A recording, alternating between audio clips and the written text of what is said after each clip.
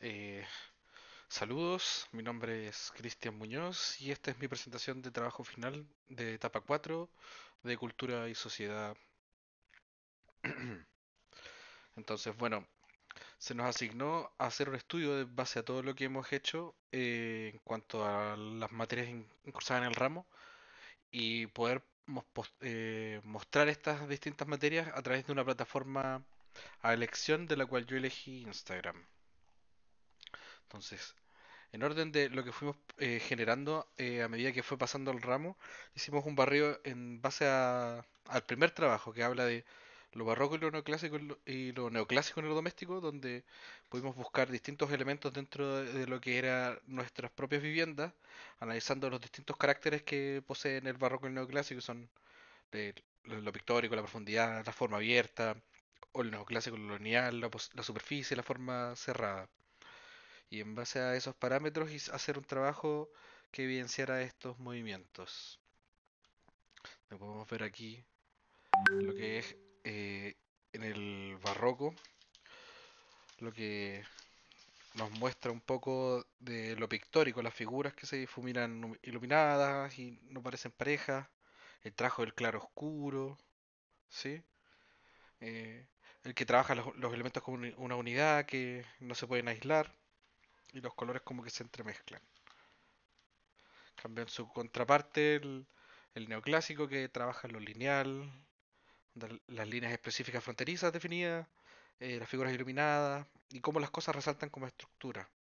A la vez que, a diferencia del barroco, trabaja la pluralidad, que son distintas partes y cada una eh, redondeada y rellenada con colores únicos y localizados. Entonces, después de este eh, primer trabajo se hizo un análisis en base a lo que era el barroco y el neoclásico en sí. donde podem- podemos ver distintas como elementos que los orde- ordenan, que son un poco de lo que hablamos antes en las otras fotos, que son eh, básicamente los elementos que definen eh, cada, periodo y cómo ellos arman estas estructuras del habitar que se generan en estos periodos de tiempo. ¿Sí? Lo pictórico, las profundidades, elementos arquitectónicos que se pueden incluso visualizar hoy en día. Y bueno, para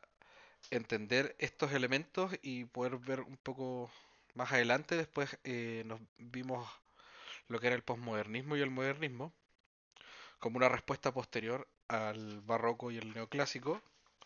donde vimos cómo el, modernismo en sí eh, es, conforme a la revolución industrial y como que trabaja esto de que la conciencia del ser humano es, es el, perdón, el el ser humano es consciente de ser el centro del mundo, donde va la lógica sobre los dogmas, abandonando todas estas cre- creencias del barroco, donde se genera esta conciencia de una nueva época, compromisos sociales, ideológicos, donde se generan todos estos movimientos sociales, y hay un positivismo general de la era en cuanto a lo que es el desarrollo y la búsqueda de un mejor futuro, y donde luego nos encontramos de bruces con este posmodernismo, que nos habla de una multiplicidad de discursos, pero que todos tienen igual importancia. Entonces, al fin de cuentas, eh, no hay una idea rectora que genere hacia el progreso, lo cual nos lleva inevitablemente al eclecticismo y, y eso al tedio posteriormente. Entonces, cuando empezamos a trabajar con estos elementos, eh, se nos pidieron hacer distintas eh, lecturas que fueran a ayudarnos a fundamentar la lectura complementaria de cada uno de estos temas, donde partimos con Humberto Giannini, que nos habla de la reflexión cotidiana,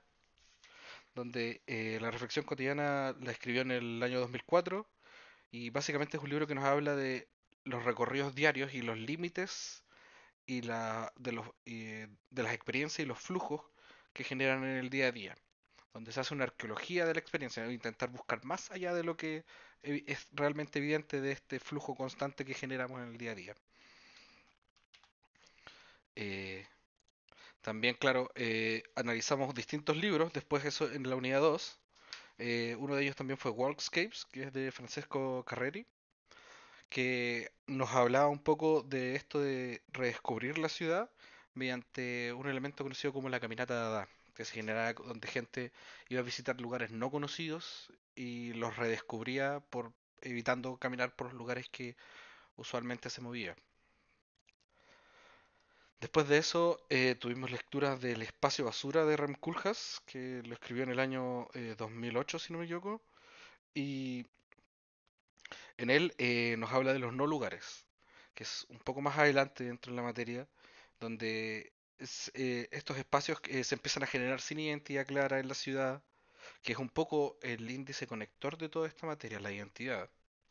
en donde hay una multiplicidad de usos y no se entienden bien cómo funcionan y, básicamente son espacios resultantes dentro de la trama. Y Rand Kulhas, acerca de la ciudad también, fue el último eh, libro que tuvimos que leer, donde eh, él habla en el, el año 2014 eh,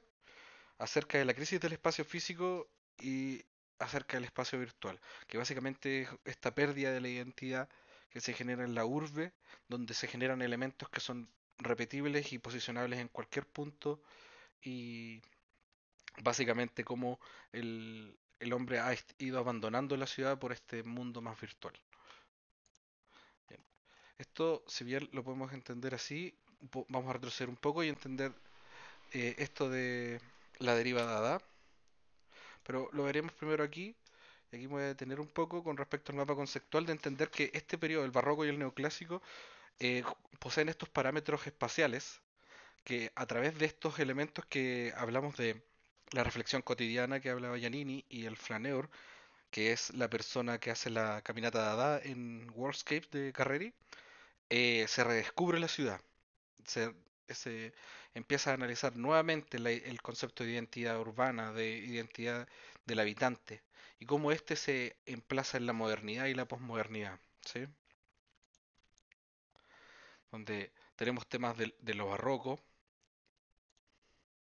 a lo neoclásico, como nos mostrábamos recién, como esto nos da eh, una visión nueva, novedosa y más actualizada de lo que es la ciudad. Entonces, la derivada Dada en sí, eh, ya lo hablamos, era, eh, hicimos un ejercicio de esto, donde básicamente yo aquí generé una deriva contemporánea, que fue el segundo trabajo del ramo, y en él pudimos ver eh, básicamente eh, un recorrido completo de qué es lo que, de redescubrir que, de lugares que no caminábamos, donde podemos descubrir elementos, por ejemplo, del modernismo que, no hemos visto, o elementos del espacio basura que habla Rem Koolhaas, y a su vez espacios postmodernos, como esta, eh, estos lugares comerciales. Entonces, en este trabajo del, que hablamos de la identidad, surgen eh, ciertos elementos que son como, que hablan del sincretismo, de la forma en que Latinoamérica, por ejemplo, trabaja esto de tener elementos que son externos, adoptarlos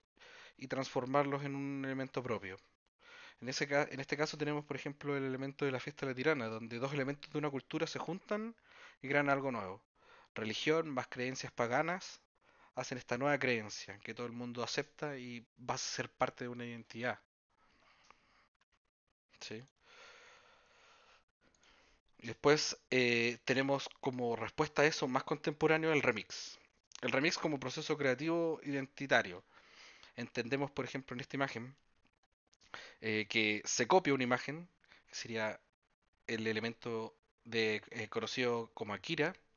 una popular película japonesa, se transforma a través de un elemento local, como Guru del, del profesor Rosa, y, y se combinan. Y hacen este elemento que básicamente es identitario de,